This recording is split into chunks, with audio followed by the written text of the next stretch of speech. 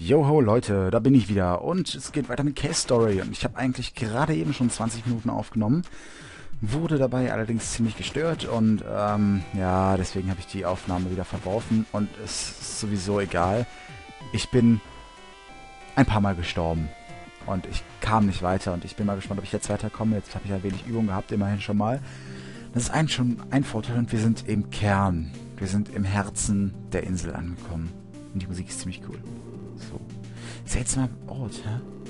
Ich frage mich, ob das hier jemals eine Art Basis oder so war. Hm. Ein Terminal. Wir öffnen die Tore. Bitte. Die Tore gehen auf. Wunderbar. Abnormalität äh, in Tor Nummer 4 äh, erfasst. Hm, sehr seltsam. Okay. Eins, zwei, drei, vier. Okay, steht auch dran. Hm, dieses Tor ist, hat, hat es nur geschafft, halb aufzugehen. Sieht so aus, als würde es irgendwo festhängen. Okay, nehmen wir einfach unseren Polarstern und schießen ein bisschen drauf.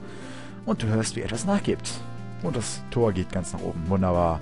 Curly geht weiter. Und da ist noch ein dickes, fettes Tor, das nicht aufgehen will. Nur Tor nach Tor. Diesen ganzen Sicherheit äh, macht, sorgt nur dafür, dass ich mich frage, was hier unten ist. Du nicht, dich nicht auch? Hm, ich weiß schon, was hier unten ist.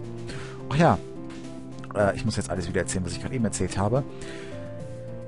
Was ich hier habe, es ist orange. Es ist nicht mehr unser normaler Raketenwerfer. Und als wir Balrog in der Kammer besiegt haben, äh, wo der Stein war, dachte ich eigentlich, es wäre eine Raketenerweiterung, sodass wir mehr Raketen äh, tragen könnten. Aber das war es nicht.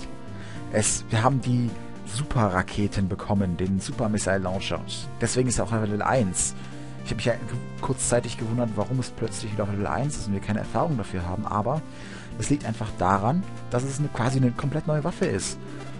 Und deswegen haben wir auch keine Munition mehr. Das ist natürlich ein bisschen doof. Aber diese Waffe ist insofern genial. Sie hat genau die gleichen Angriffsmuster wie der normale Raketenwerfer. Und ich werde die drei Raketen, die ich jetzt habe, nicht verschwenden, denn jetzt kommt ein Bosskampf da brauche ich jede Feuerpower, die ich habe, denn an dem bin ich nämlich gerade eben die ganze Zeit gestorben, gestorben, gestorben.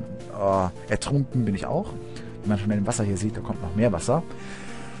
Ja, und der, genau, der einzige Unterschied zwischen normalem Raketenwerfer und Superraketenwerfer ist, dass der Superraketenwerfer mehr Schaden macht und die Raketen schneller sind. Da oben ist Curly und wir sehen hier schon jede Menge Roboter. Alles kaputt. Und wir lassen Curly jetzt erstmal links liegen, gucken uns das grüne Gebilde hier an, was immer das sein wird. Und hier glitzert etwas. Gucken wir uns das an. Etwas äh, ist um den Arm des kaputten Roboters gewickelt. Wirst du es nehmen? Ja, und wir haben ein Abschleppseil. Und dieses Abschleppseil, was es damit auf sich hat, das erkläre ich euch, wenn wir es geschafft haben, dieses grüne Ding da zu besiegen, das nämlich jetzt der Bossgegner ist. Ähm, ich kann euch aber schon mal so viel sagen, hätten wir den Booster 0.8 von Professor Booster genommen und hätten wir äh, halt nicht dass die Stelle einfach übersprungen, wäre das Abschleppseil nicht erschienen. Und ja, was für Konsequenzen das gehabt hätte, das sehen wir gleich hoffentlich. So, sieh nur, das ist eine Oberfläche, äh, eine Oberfläche vom Soldat. Das ist ein Soldat von der Oberfläche. Er ist aber komplett zerstört. Hier sind noch jede Menge andere, wie es genau hier unten. Was zur Hölle könnte hier passiert sein? Kein Mimiga. Nein, sie machen nicht so viel Schaden. Er lebt noch. Es ist immer noch am Leben. Bzz, bzz, bzz, bzz, bzz. Team 9 zerstört. Äh, der bla bla, ähm, die Zerstörung des Ziels ist fehlgeschlagen. Momentane Kräfte sind unzureichend. Rückzug, Rückzug. Wir können uns nicht mehr zurückziehen. Zurückziehen. Das Tor wird zu und ich muss mich ausrüsten. Wie man an der Musik hört und an den Balken sieht, ein Boss. Und was könnte es anderes sein als der Kern selbst? Und es ist so ein Mistgegner. Kann ihn nur verletzen, wenn er blau ist und auch nur die Mitte. Wie man sehen kann, er hat verdammt viel Lebensenergie. Und er schießt einfach alles, was er nur hat. Teilweise hat er Schüsse, die 20 Schaden machen. Mit einem Schuss und das Wasser steigt. Wir können schön ertrinken. Alles wunderbar. Also es ist so ein toller Kampf. Aber man sieht, das Spiel wird schwerer. Super Missiles, ja. Immerhin. Oh, wir hatten so viele. Gut, wir haben ein paar von äh, den zerstörten Schüssen bekommen. Immerhin. Hm, gib mir noch mehr Raketen, gut. Ähm, ja, King, mach mal ein bisschen Schaden hier, genau, ja. Das, so, das, das will ich sehen. Level Down, okay, das wollte ich nicht sehen. Herzen kann ich gebrauchen. Level Up, ja, das ist gut. Ich habe King wieder, aber ich muss aufpassen, dass ich jetzt nicht ertrinke. Und ich darf mich natürlich nicht von ihm treffen lassen. Ne? Nein, er schießt die starken Schüsse. Die, denen ist schwer ist auszuweichen. Geht er hoch, geht er hoch, geht er hoch, geht er hoch. Ja, das war's. Eins, zwei, drei. Und, op, dop, dop, dop. Ein, Level 20. Habt ihr das gesehen? Ein Schuss macht mir 20 Schaden. Es ist so übertrieben. Und wir hätten auch ein Item kriegen können, wenn wir den Booster aufgesammelt hätten, mit dem wir unser Schaden, den wir nehmen, halbiert wird. Aber da wir den Booster nicht aufgehoben haben, können wir das, konnten wir das Item nicht holen. Also wir hätten es mal mit dem Maschinengewehr holen können, aber das haben wir auch nicht geholt. Und es ist einfach so kacke, diesen Bosskampf zu machen, wie man sieht. Ich habe ihm jetzt vielleicht ein Viertel seiner Lebensenergie abgezogen und ich habe nur noch sechs. Und ich werde es garantiert wieder nicht schaffen. Weil es einfach so ein schwerer Bosskampf ist. Und er kann durch die Wände durchschießen und den Boden und... Oh Gott, mach dein Auge auf. Dank, ja, genau, schieß deiner, schick deiner Untergebenen in den Weg, damit ich dich auch ja nicht treffen kann, ne?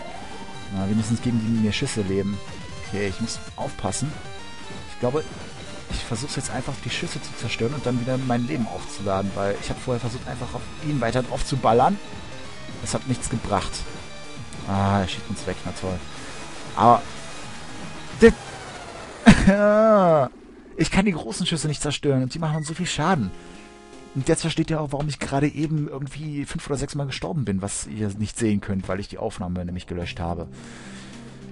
Äh, okay, noch einmal. Wir sind wieder hier drin mit der coolen Musik, die einen äh, geheimnisvollen Unterton belegt schon. Ah. Und dieser Kern ist übrigens genau das äh, äh, Lebewesen, der Organismus, der die Insel am Schweben hält. Und ja, wir wissen nicht genau, was, warum wir ihn zerstören, aber es bleibt uns keine andere Wahl. Wir wissen einfach nicht, wo wir jetzt lang müssen oder können. Und der Kern greift uns an. Wir können einfach nichts dagegen tun. Oh, wir müssen ihn besiegen. So. Mhm, bla bla, wie gehabt. Tor äh, hängt fest. Wir müssen es schießen, damit es sich bewegt. Und dann, ja, Lift senken, bitte. Oh, schneller bitte. Ich möchte wieder kämpfen. Ja.